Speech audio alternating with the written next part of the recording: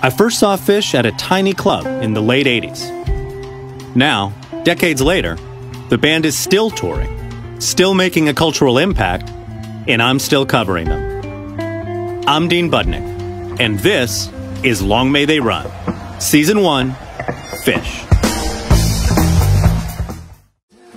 After all this time, Phish is still filling arenas.